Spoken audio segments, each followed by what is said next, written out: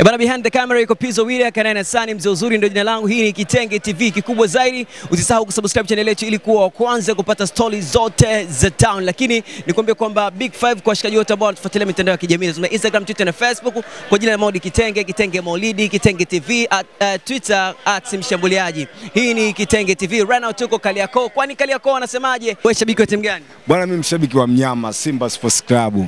Tarehe tatu mnakutana na mtani wa jadi. Nini ambacho kina uh, unaweza kukizungumzia?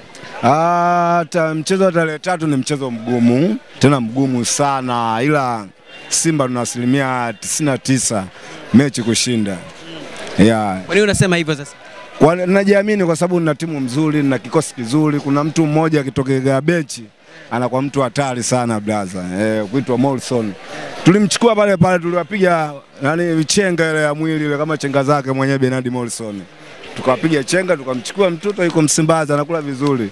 Unajua maisha ya Jangwani, kula kula kambale kila siku. Mm, Ndio maana mchezaji mmoja hivi nani Kalinyozi sijui anaitwa kaondoka, eh, kwa sababu mazingira ya Jangwani sio mazuri.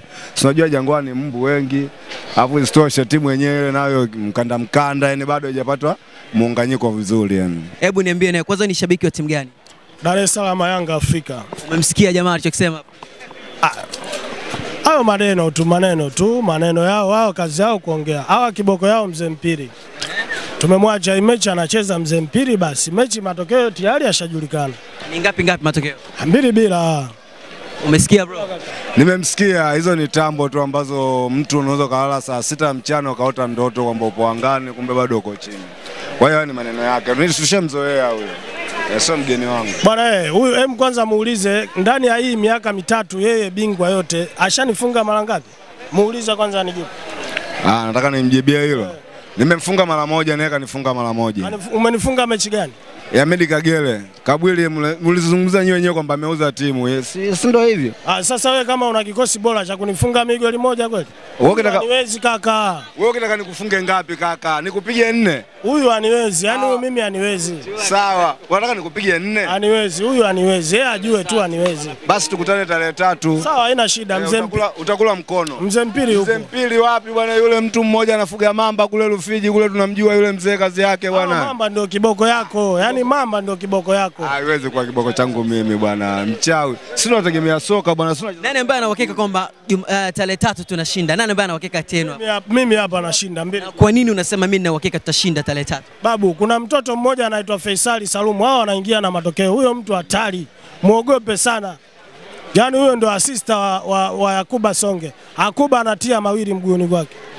Wewe naye Ah, Mimi wapo wengi sana, yaani wewe namtaja mtu mmoja. Mimi nina kikosi kizima, yani wote wana hatari. Kuna Bernard Morrison mzee kukela, yani huyo anaopanda pila fule eh, sunazijua unazijua zile mzee baba ya na Bernard Morrison siwezi kukimbia kijiwe. eh, ah, hapa lockdown nini, nini, kazi zangu ziko pale nini, wewe sina pressure na mechi hiyo. Ushanisoma blaza, na Molson na Mixon na Kratus Chama Mwamba Lusaka na mtoto mmoja Mlugulu kutoka Morogoro hapo HD eh, huyo anaitwa Dilunga yani. Wape salamu uh, mashabiki wa Yanga tarehe tatu. Bwana eh, kwanza mimi nataka nimjibu huyu bwana mdogo, sawa? Yeye ametaja wachezaji sita, saba sijui. Mimi nimetaja wangapi? Wawili. Yakuba na na na Faisal Salum Toto fundi. Yaani hao ni watu muhimu ambao wataka kwenye shughuli hawa- hawasomagi dua watu ishirini kaka. Dua wanasoma watu wawili tu au mmoja. Hasa huyu kataja watu wangapi? Aniwezi kaka huyu. Ukweli soka la sasa hivi kaka, yeye anavyoongelea kila muda, yeye anataja mamba, si amtaja mzee nani, si ataja dua. Sisi tunategemea ile ufundi ambao tuko nao Simba kama Simba, kikosi bora, wachezaji bora, sawa na mifumo mipya ya kisasa, ndo kitu ambacho tunategemea. Hatutegemei kitu kingine chochote cha kusema si kuna babu. Yaani sisi hata tukifumbwa sasa hivi hatutegemei tuseme Yanga alituloga, wametuzidi kimchezo, wametufunga basi, na tukiwapiga tujue tumewapiga kutokana na jinsi gani tumewazena. Tunajigamba, tunajiamini kutokana tumewazidi hata kwa mchezaji mmoja mmoja wa Simba na Yanga kwa kiwango. Simba tuko juu Ila uhakika kuwafunga je, tarehe tatu. asilimia 99 kama alivyoongea kaka hapa, asilimia 99 lazima tu, tu, tuibuke na ushindi Simba zaidi ya tatu. Tufunge tufunge utatu. Kaka, mimi nakwambiaje, huyu alotoka kuongea sasa hivi ni bwana mdogo sana, na huyu bwana mdogo sana. Mimi hawaniwezi, sawa. Na mimi cha kusema kwamba mzee mpili yupo. Sisi yule mzee tumemweka kwa shughuli zote, yani yule ndo anomaliza hii shughuli. Hii tu station tunaiheshimu sana, sawa, lakini juzi jana jana kwa mkia leo ndugu yao anaanza tayari, povu linaanza kumtoka, anabishana na mpiri peke yake kila akiongea mzee mpiri yule, sisi hatumwogopi. hatum- Hasa mtu kama umwogopi, kwani unamsema sema? Yeye kaongea yake kwenye TV, kabeba begi lake mgongoni leusi, mwache si lake.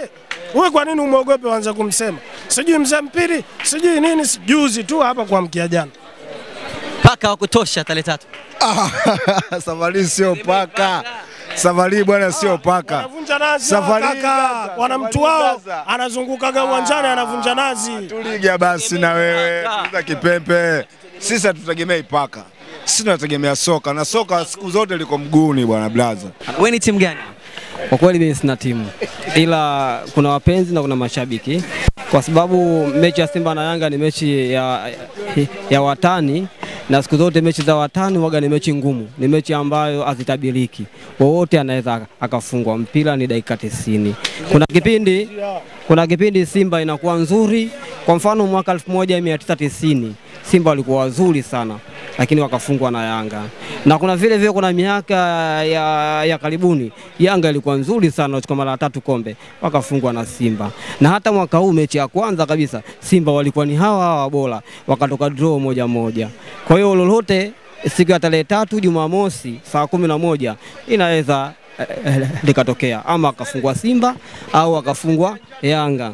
Maneno ya mashabiki ni kama kawaida, ni kuweza kupamba. Hakuna mtu ambaye asikubali kushindwa, kila mtu lazima apambe katika katika nani yake, lakini atizeendi mwisho wa siku ndo baada ya dakika 90 mpira utajulikana. Lakini mimi kwa, kwa, kwa, kwa, kwa, kutabashi- yani kwa- kubashiri hii mechi inaweza kawa draw tena, Eh, eh, ya inaweza kawa draw tena. Ya kwa sababu mechi ya Simba na Yanga haina bora, haina kosi gani bora. Mechi ya Simba na Yanga ni vurugu, yani ni vurugu tupu.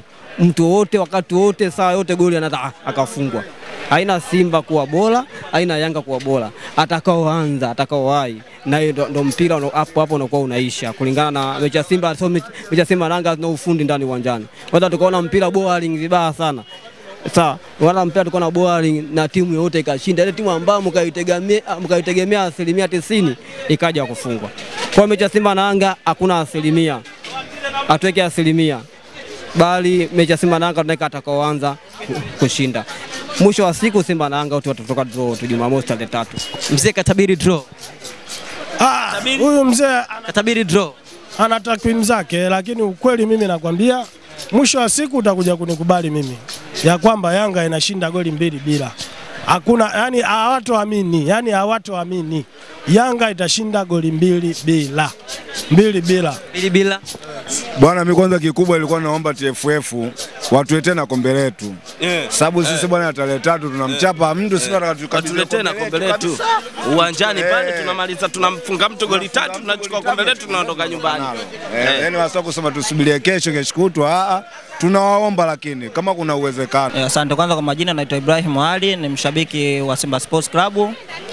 Eh, kuelezea kulingana na mechi ya tarehe tatu ya mwezi huu, mwezi wa saba, mimi ni wasitu tu ndugu zetu Yanga Afrika waje ili tukutane pale tukipige, kwa sababu mechi ni mechi ya kipolo na kwa sababu ishatukimbia sana, lakini safari tumekutana nacho. Kwa niombe tu wana Yanga wajitokeze kwa wingi siku hiyo isi tuwapige tuta- tutangaze ubingwa, kwa sababu walikimbia kutupigia makofi, hiyo utafanya kuwa daraja ya kuchukua sisi ubingwa kwa siku hiyo. Mnadhani mtatoka? E, tunatoka tena kwa goli nyingi tu, sina wasiwasi. Lakini inasemekana kwamba mtafungwa. Mzee Mpili naye ana- ana- anahusishwa katika masuala haya. Ah, Mzee Mpili yeye ni wajibu wake kuzungumza kwa sababu ni mpinzani wetu, lakini akiangalia kikosi chake mwenyewe anapata pressure, na ndio maana muda wote amekuwa anaongea porojo porojo mara nyingi, lakini pointi ana ila timu hata na Mzee Mpili naye aje, kama atakosa viingilio basi na Simba tutamchangia ili aje pale. Umeiona ni Yanga mabadiliko. Kweli mtatoka pale? Yanga ni timu ya kawaida na wake bado hajafikia hatua ya kubadilika kuifunga Simba, ndo kwanza wanaanza, ila kwa sasa hivi bado Visoche pia klabu kama Simba unajua level zimevuka sasa hivi.